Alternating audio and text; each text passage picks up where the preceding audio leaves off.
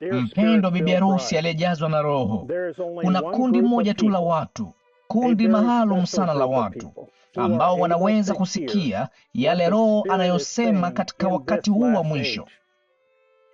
Ni kundi maalum ambalo limeupokea ufunuo wa wakati huu.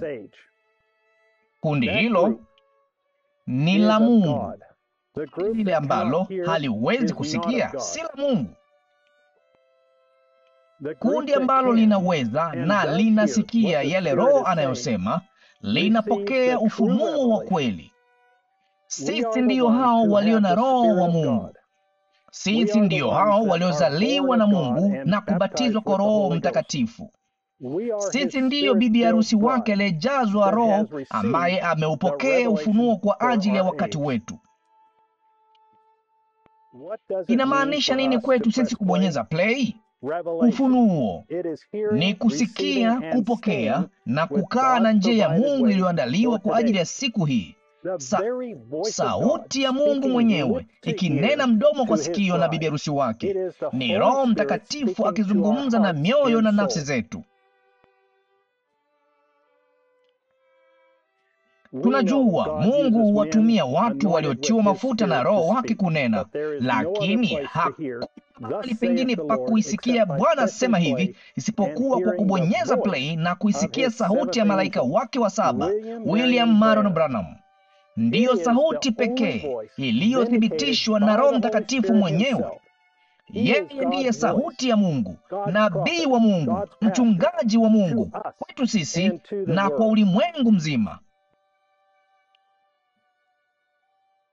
Wakati yeye anaponena, sisi tunasema amina kwa kila neno, kwa maana ni Mungu mwenyewe anayesema nasi. Neno lake ndilo neno pekee lisilohitaji kufasiriwa. Ni Mungu akitumia sauti yake kuongea na bibi harusi wake. Ni Mungu mwenyewe anayetuambia, watoto wangu, si ninyi mlionichagua mimi, bali ni mimi niliyewachagua ninyi, kabla hakujawa na chembe ya vumbi ya nyota, kabla hata sijajulikana kwako kwa Mungu wako nilikujua. Ulikuwa niani mwangu, ukiwa katika mawazo yangu ya milele. Wewe ni bibi harusi wangu halisi, wa uzao wa neno lililonenwa. Ingawa mlikuwa katika mawazo yangu ya milele, sikuwadhihirisha hadi majira yangu niliyoyakusudia na yaliyoamriwa, kwa maana nilijua ninyi mngekuwa kundi langu maalum ambalo lingedumu na neno langu. Wengine wote wameshindwa, lakini nilijua ninyi hamngeshindwa. Ninajua ya kwamba unateswa na kudhiakiwa kwa sababu umedumu na nabii wangu lakini wewe ndiye mzabibu wangu wa kweli ambao haujakengeuka kutoka kwenye neno langu, bali umedumu kuwa mkweli na mwaminifu kwa nabii wangu ambaye unena maneno yangu. Kuna wengine wengi ambao wamefundishwa kwa uaminifu, lakini wao daima hawajifunzi jinsi ilivyo jambo muhimu kusema yale tu mimi niliyoyanena kupitia mjumbe wangu, jinsi tunavyopaswa kuwa waangalifu kusikia sauti moja, kwa kuwa Roho hana ila sauti moja ambayo ni sauti ya Mungu. Lo, jinsi ilivyo muhimu kusikia sauti ya Mungu kwa njia ya wajumbe wake halafu kusema yale waliopewa kuyambia makanisa.